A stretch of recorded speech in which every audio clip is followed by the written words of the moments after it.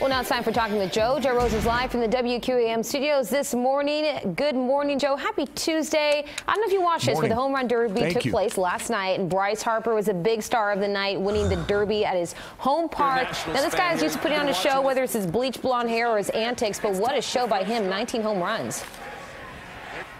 Well, I tell you what, Bianca was impressive. He was way down in the final round with a minute left. He just hit so many home runs so fast. How about this? Nine home runs in 47 seconds for the big comeback and win 19 to 18.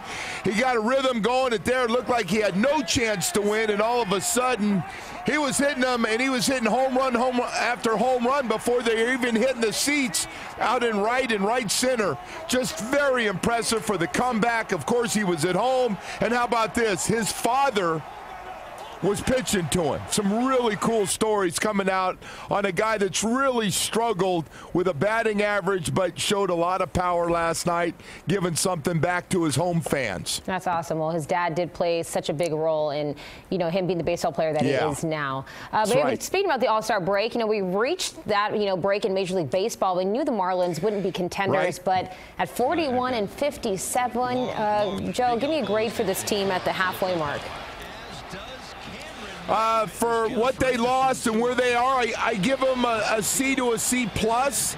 They've actually been very competitive. I know for, for our fan base, we want winners, but considering what they lost, uh, they've had some real nice stories. They've developed some guys. Actually, have got a winning record over the last month.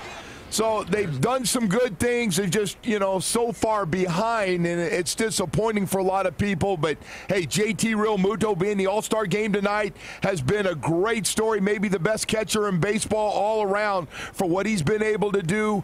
Anderson has proven that he's got a chance to be a star in the major leagues, both a right field and a third base. So there's been some really nice stories with this team just not enough to get this fan base really juiced up this year. Oh, Joe. Well, you know, C's get degrees. So we're trying to keep it positive there, Joe. Yeah. Always good talking to you. Hey, and you we'll know talk what? to you in the next hour. Hey, Bianca. What? Bianca, I would have taken those C pluses in college. That, that's not a bad grade, you know.